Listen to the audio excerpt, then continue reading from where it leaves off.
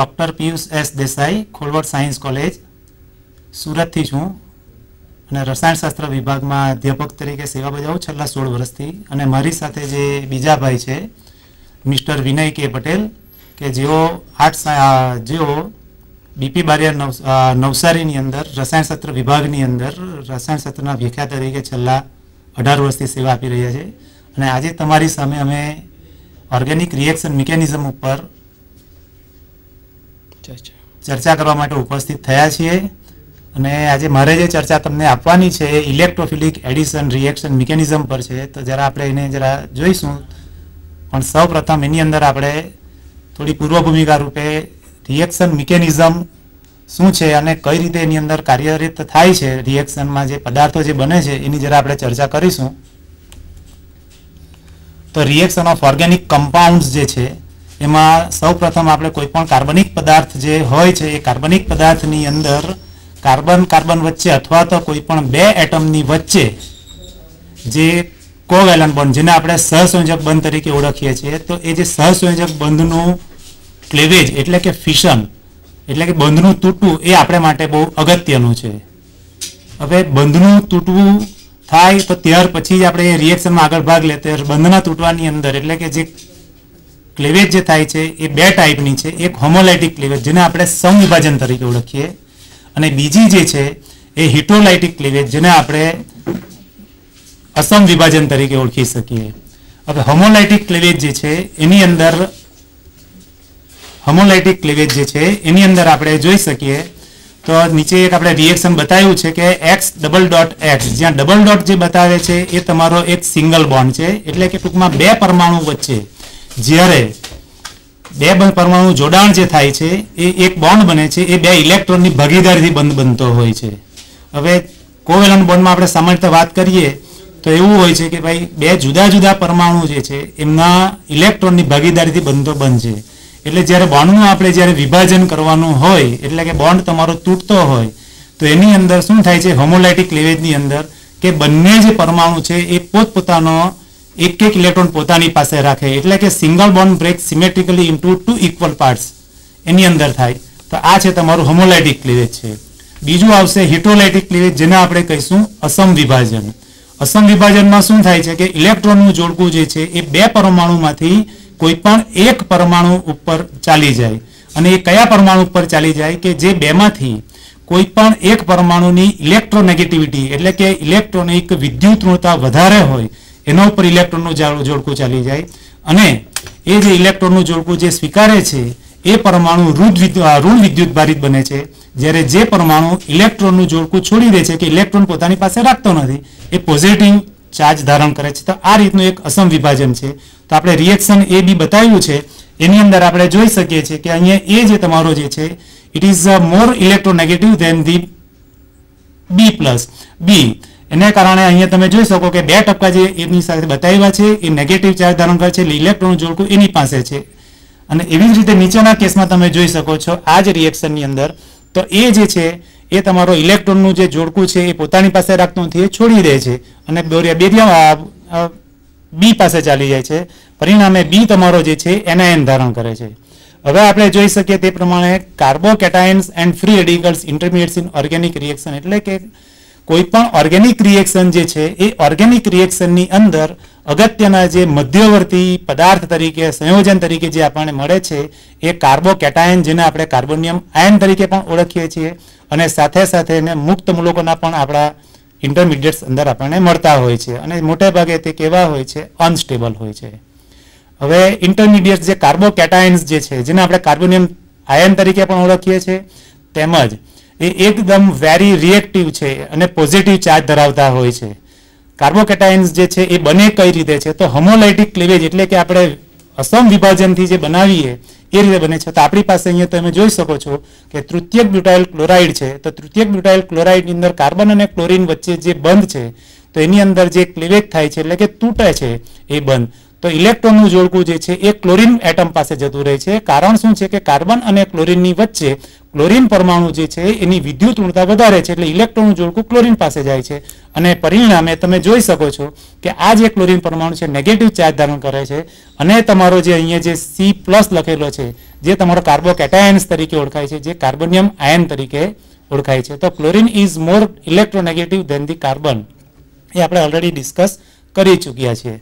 હવે ફ્રી રેડિકલ્સની વાત કરીએ તો ફ્રી રેડિકલ્સની અંદર તમે જોઈ શકો તો હોમોલાઇટિક ક્લિવેજ થાય. હોમોલાઇટિક ક્લિવેજ થાય એટલે શું છે કે આ બે જે ક્લોરિન ક્લોરીન વચ્ચેના જે બે પરમાણુ જે છે, એ બે પરમાણુમાં શું થાય છે કે ઇલેક્ટ્રોનનું જોડકું તૂટે છે અને બંને ક્લોરીન પરમાણુ, તમે અહીંયા જોઈ શકશો, તો બંને ક્લોરીન પરમાણુ એક એક ઇલેક્ટ્રોન પોતાની પાસે રાખે અને જે તમારા જે ક્લોરીન પરમાણુ જે ફ્રી રેડિકલ્સ છે, એનો ચાર્જ તમને મળતો નથી.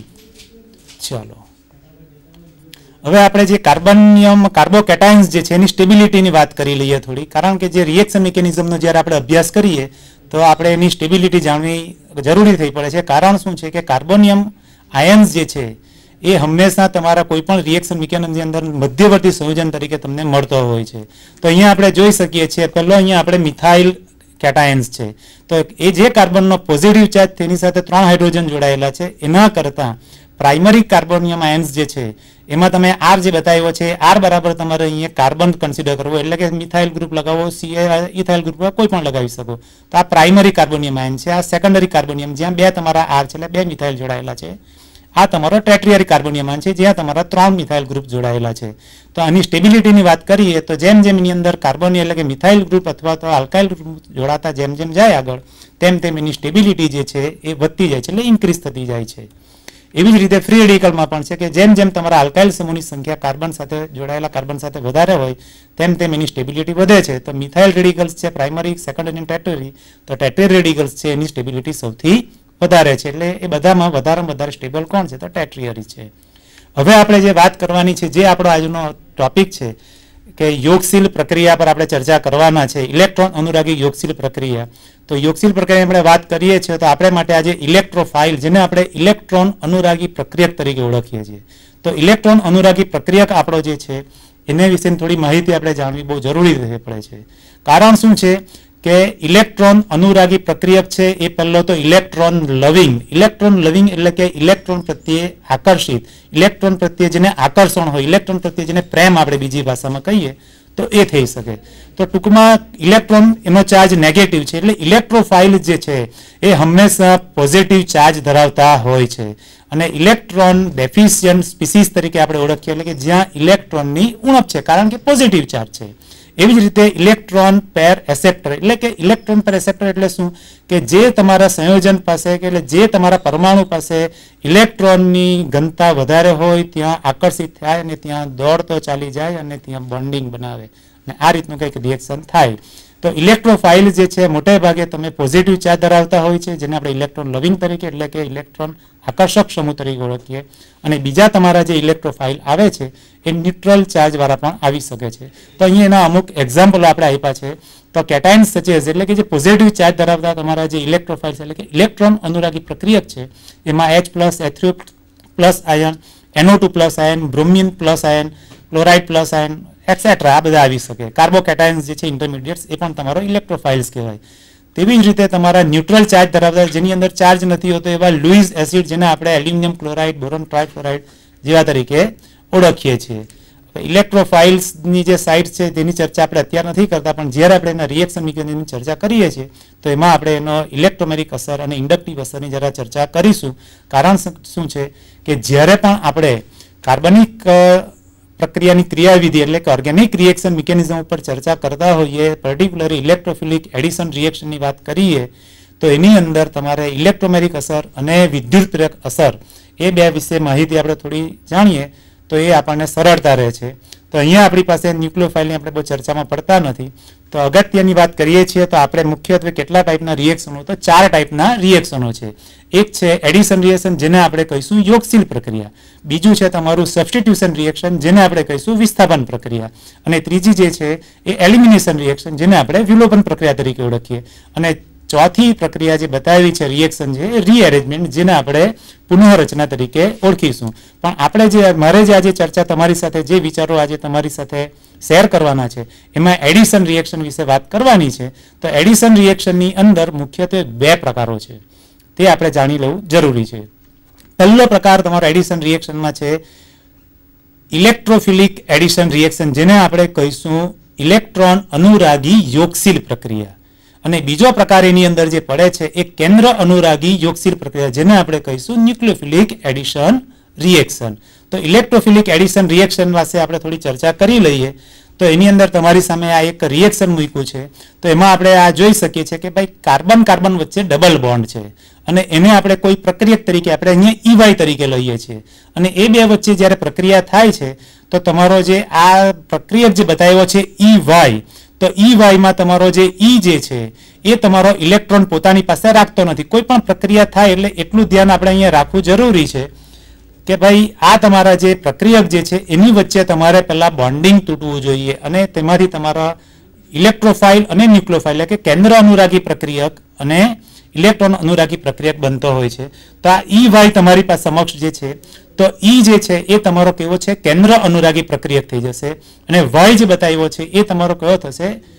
અરે, હા, ઈ પ્લસ જે છે, એ ઇલેક્ટ્રો અનુરાગી પ્રક્રિયક છે અને વાય તમારો જે છે, એ કેન્દ્ર અનુરાગી પ્રક્રિયક. હવે આપણે પ્રક્રિયા વિધિ કરીએ છીએ ઇલેક્ટ્રોફિલિક એડિશન રિએક્શન, એટલે કે ઇલેક્ટ્રોન અનુરાગી યોગશીલ પ્રક્રિયા. તો શું થશે? આ તમારો જે ઈ પ્લસ જે છે, ઇલેક્ટ્રોન અનુરાગી પ્રક્રિયક છે, એ તમારા કાર્બન કાર્બન ડબલ બંધ તમને જે બતાવવામાં આવ્યો છે એટલે કે સી સી ડબલ બંધ છે, એના કાર્બન ઉપર એટેક કરશે. પણ એ કયા કાર્બન પર એટેક કરશે? તો અહીંયા સી સી ડબલ બંધ જે બતાવ્યો છે, એમાં આ જે છે, બે બંધ છે, તેમાં એક તમારો જે છે, સિગ્મા બંધ છે અને બીજો તમારો જે છે, પાઈ બંધ છે આ ઉપર. તો પાઈ બંધ જે છે, એ તમારા રિએક્શન મિકેનિઝમમાં અગત્યનો ભાગ ભજવે છે. તો શું થાય છે, આ જે પાઈ બંધનું જે ઇલેક્ટ્રોનનું જોડકું અહીંયા જે બતાવ્યું છે, તે ઇલેક્ટ્રોનનું જોડકું કયા કોઈ પણ બે કાર્બનમાંથી એક કાર્બન પર ચાલી જાય છે.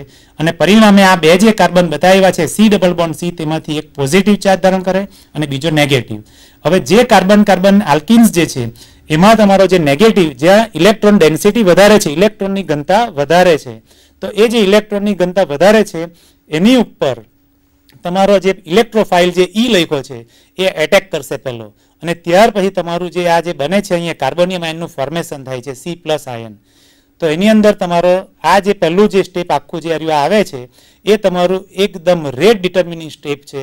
અને કેવું છે, વેગ નિર્ણાયક તબક્કો અને થોડી ધીમી પ્રક્રિયા થાય. અને બીજું સ્ટેપ તમારું જે છે એ શું છે, આ ઇલેક્ટ્રોફાઇલ તમારા કાર્બન સાથે એટેચ થઈ ગયો ત્યાર પછી તમારો આ જે કાર્બન પરમાણુ પોઝિટિવ ચાર્જ ધરાવે, એના ઉપર ન્યુક્લોફાઇલ એટેક થાય અને તમને અહીંયા એક તમને આખો સીઝ ફોર્મેશનની અંદર અથવા તો પછી તમારી એડિશન એટલે કે ઈ વાય સીધે સીધો તમારા આલ્કિન્સની અંદર એડ થઈ જાય અને તમને સેચ્યુરેટેડ કમ્પાઉન્ડ તમને અહીંયા તમારી સમક્ષ મળે છે. હવે આ જે કમ્પાઉન્ડ મળે છે યોગશીલ પ્રક્રિયા છે. આની અંદર કોઈ પણ જાતની તમે જોઈ શકશો બાય પ્રોડક્ટ મળતી નથી. હવે આ તમને એમ થશે કે અહીંયા તમારો જે કાર્બન, કાર્બનની વચ્ચે દ્વિબંધ છે, તો ઇલેક્ટ્રોનનું જોડકું જે થાય છે, તો કવ એરો તરીકે આપણે જે બતાવીએ છીએ, એ કઈ અસર છે? તો એ ઇલેક્ટ્રોમેરિક અસર છે. ઇલેક્ટ્રોમેરિક અસર જે છે, એ હંમેશા દ્વિબંધની અંદર તમને જોવાની મળે છે, એટલે કે મલ્ટિપલ બંધ, જેમાં દ્વિબંધ હોય, ત્રિબંધ હોય, એની અંદર જોવાની મળતી હોય છે. તો હવે આ જે તમારી અસર થાય છે, એમાં ઇલેક્ટ્રોનનું જોડકું કોઈ પણ એક કાર્બન પોતાની પાસે રાખે છે, તે નેગેટિવ ચાર્જ ધારણ કરશે અને જે ઇલેક્ટ્રોન નથી રાખતો, એ પોઝિટિવ ચાર્જ ધારણ કરશે. તો આ છે એનું મિકેનિઝમની વાત કરી. તો હવે આપણે એક લેબોરેટરી અંદર કાયમ ટેસ્ટ કરીએ છીએ. કાર્બનિક પદાર્થનું જ્યારે આપણે પૃથ્થકરણ કરતા હોઈએ છીએ, તો એ કાર્બનિક પદાર્થના પૃથ્થકરણમાં આપણે જે એની અગત્યની કસોટીઓ જ્યારે કરીએ છીએ, તેમાં એક આપણે સંતૃપ્તતા કસોટી તરીકે એક ઓળખીએ છીએ. એમાં જનરલી આપણે બે કસોટી કરતા હોઈએ છીએ કે ભાઈ પદાર્થ વત્તા બ્રોમિનનું જળ, પદાર્થ વત્તા બ્રોમિનનું જળ અને પછી બેને ભેગા કરીએ. તો એની અંદર આપણે ઓબ્ઝર્વેશનમાં જોતા કે બ્રોમિન જળ જે છે, એનો રંગ દૂર થાય છે. બ્રોમિન જળનો રંગ આપણે જાણીએ છીએ, આ તમારી સમક્ષ બે ટેસ્ટ બતાવી છે. એમાં જે બ્રાઉન કલર જે છે, એ તમારા બ્રોમિનનો કલર છે. હવે એ ટેસ્ટ ટ્યુબની અંદર જો આપણે કોઈ પણ પ્રવાહી કાર્બનિક પદાર્થ નાખીએ, કે જેની અંદર દ્વિબંધ અને ત્રિબંધ આવેલા હોય, તો શું થાય? અને આપણે થોડુંક શેક કરીએ, એટલે કે હલાવીએ ટેસ્ટ ટ્યુબને તો એમાં તમે બાજુમાં જોઈ શકશો કે ભાઈ તમારે કલરલેસ થઈ ગયું છે. એટલે કે બ્રોમિન જળનો રંગ દૂર થઈ ગયો છે. તો એ જે બ્રોમિન જળનો રંગ દૂર થાય છે, માટે આપણે કહીએ કે એની અંદર કાર્બન કાર્બન વચ્ચે દ્વિબંધ અથવા તો ત્રિબંધ છે. સમજ? તો આ થઈ તમારી સંતૃતા કસોટી, એટલે કે જે આપણે ઇલેક્ટ્રોફિલિક એડિશન રિએક્શન જે ચર્ચા અત્યારે અહીંયા કરી રહ્યા છીએ તો એને માટેની લેબોરેટરીમાં આપણે જે ટેસ્ટ કરીએ, તેનું આ એકદમ ઉત્તમ અને સારામાં સારું ઉદાહરણ છે. તો હવે આપણે જે કાર્બન કાર્બન વચ્ચે દ્વિબંધ હોય અને એના ઉપર આપણે જ્યારે આ તમે જોઈ શકશો, તમે એક સ્લાઇડ મૂકવામાં આવી છે, એમાં તમે જુઓ છો, તો આ કાર્બન કાર્બન વચ્ચે એક બ્લેક લીટી બતાવી છે, એ તમારી છે સિગ્મા બોન્ડ તરીકે બતાવે છે. અને ઉપર તમે બે જે તમે પિંક કલરના મોટા વાદળો જેવા દેખાય છે, એ તમારા પાઈ ઇલેક્ટ્રોન છે. હવે આ જે કાર્બન કાર્બન વચ્ચે દ્વિબંધ છે, એના ઉપર આપણે જોઈ શકીએ છીએ કે ભાઈ હાઇડ્રોજન બ્રોમાઇડ તો હાઇડ્રોજન બ્રોમાઇડની અંદર એચ પ્લસ જે બતાવ્યો છે, કારણ શું છે? તો બ્રોમિન અને એચની અંદર તમે જુઓ, તો બ્રોમિન જે છે એ એકદમ ઇલેક્ટ્રોનેગેટિવ એટલે કે જેની વિદ્યુત ઋણતા એકદમ વધુ છે. એટલે આ જે ઇલેક્ટ્રોનનું જોડકું અહીંયા જે બતાવ્યું છે એ ઇલેક્ટ્રોનનું જોડકું બ્રોમિન પરમાણુ પોતાની પાસે રાખે છે અને નેગેટિવ ચાર્જ ધારણ કરે. જ્યારે અહીંયા હાઇડ્રોજન તમારો જે છે ઇલેક્ટ્રોન છોડી દે છે, માટે પોઝિટિવ ચાર્જ ધારણ કરે છે. હવે શું થાય છે? એની અંદર એટેક કઈ રીતે થાય છે? એ જુઓ. તો હવે આપણે ધીમે ધીમે જરા હું આ કરશો દબાવું એટલે તમને ખબર પડશે કે કઈ રીતે ઉપર એટેક કરે છે. તો તમે જુઓ છો, જેમ જેમ એચબીઆરનો અણુ તમારા કાર્બન કાર્બનના દ્વિબંધ નજીક આવે છે, તેમ તમે ઉપર જુઓ, પિંક કલરનું વાદળ જે ઇલેક્ટ્રોનનું બતાવ્યું છે, એ ઇલેક્ટ્રોનનું વાદળ ધીમે ધીમે શું થાય છે? ઓછું થતું જાય અને આ એક બાજુના કાર્બન સાઈડે જાય છે. એટલે બંને ઇલેક્ટ્રોન જે બતાવ્યા છે, એ બંને ઇલેક્ટ્રોન તમે જુઓ, આ કાર્બન પાસે, એટલે આ કાર્બન જે છે, ત્યાં ઇલેક્ટ્રોનની ઘનતા વધતી જશે અને આ કાર્બન પણ તમે જુઓ, એના પર ઇલેક્ટ્રોનની ઘનતા ઓછી થવાથી એ પોઝિટિવ ચાર્જ ધારણ કરે. અને ઇલેક્ટ્રોફિલિક એડિશન રિએક્શનની અંદર હંમેશા એટલું ખાસ ધ્યાનમાં રાખવું કે તમારો જે ઇલેક્ટ્રોફાઇલ હોય, એનું જ એટેચમેન્ટ એટલે કે ઇલેક્ટ્રોફાઇલ જેનો પોઝિટિવ ચાર્જ છે, એ નેગેટિવ કાર્બન પ્રત્યે આકર્ષિત થાય અને એના ઉપર સીધે સીધો એટેક કરે. અને તમને આ રીતે આખી તમારો એચબીઆર સીધે સીધો સંયોજાય અને તમને પ્રોડક્ટ આ રીતની મળતી છે. તો આ તમે એક જોયું કે ભાઈ કઈ રીતે પાઈ ઇલેક્ટ્રોન તમારા એની અંદર કામ કરે છે, કઈ રીતે ઇલેક્ટ્રોફાઇલની અંદર એડિશન થાય છે. તો એના અમુક આપણે ઉદાહરણ આપણે જોઈશું અહીંયા. તો બ્રુમિનની આપણે પ્રોપિન સાથેની પ્રક્રિયા છે તે જરા જોઈએ. તો એમાંથી આપણે જોઈ શકીએ છીએ કે ભાઈ બ્રુમિનની જ્યારે આપણે પ્રોપિન સાથે પ્રક્રિયા કરીએ છીએ, તો એમાંથી આપણને વન ટુ ડાયબ્રોમો પ્રોપેન મળે છે. એ જ રીતે આપણે બીજી પણ આપણે જોઈ શકીએ છીએ. હાઇડ્રોજન બ્રોમાઇડની ટુ બ્યુટીન સાથેની પ્રક્રિયા છે અહીંયા.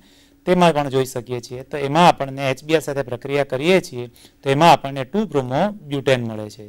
તો આપણે બ્રોમિન વિથ પ્રોપિનની પ્રક્રિયા જે બતાવી છે અહીંયા, તો આપણે એનું આપણે મિકેનિઝમ જરા જોઈશું. તો શું થાય છે એમાં?